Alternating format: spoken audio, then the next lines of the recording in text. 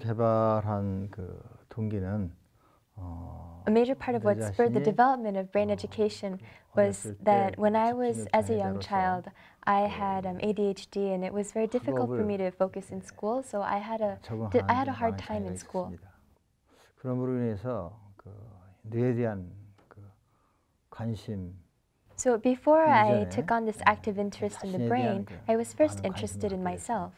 많은 그런 그 And 이 in the same way, although a lot of 시간이 time 지났어도, passed, I could 어, never be 학업에 대해서 interested in 적응하지 못한 academic 것은 studies. 마찬가지였습니다. I had a hard 힘든 time 시간을 even 고등학교, in primary 중학교, school and 고등학교 middle school and high 까지 school as well. 그러나 But even though I 이 couldn't adjust in 적응하지 school, I 못했지만 still had to 시험은 keep taking 계속 봐야 tests. 됐습니다. 허락도 없이 Nobody ever 시험은 asked for my 시험 permission, but I 문제를 had to 항상 keep taking 나한테 tests 제시했고 um, again and 시험을 봐야 again. 됐죠. 음, 그 생활 And so life at 학교 school was 생활이 really 정말로 miserable for 괴로웠습니다. me. I knew what kind of scores I would expect in terms of my test results, and, but I wasn't ready at all, and I still had to keep taking those tests. And it really was like torture. That's the kind of time I had in primary school and middle school and high school. And so I was wondering if the problem lied in me, if it was my problem or if it was a problem with the school systems and the educational system. And at the time, everybody said it was my problem. 얘기를 했습니다. 음, 그럼으로 인해서 어, 나는 그 내 And so I started to 자신에 대해서 pay more attention to myself.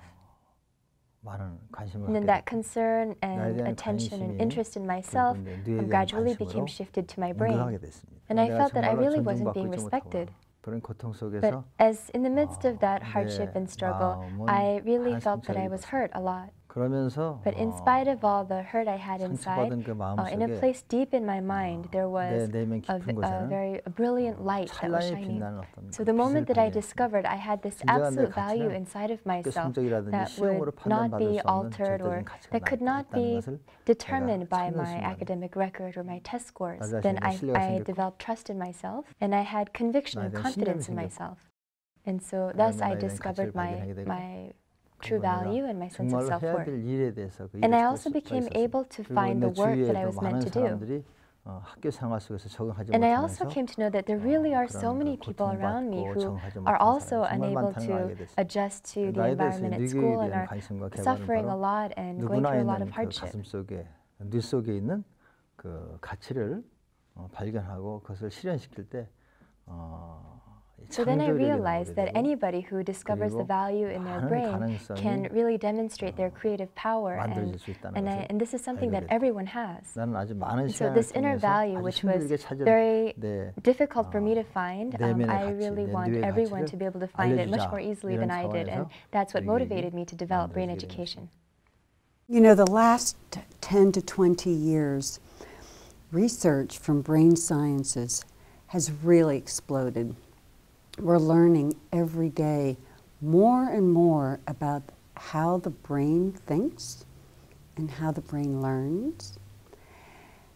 And yet, I started to see that this information wasn't being taught to teachers.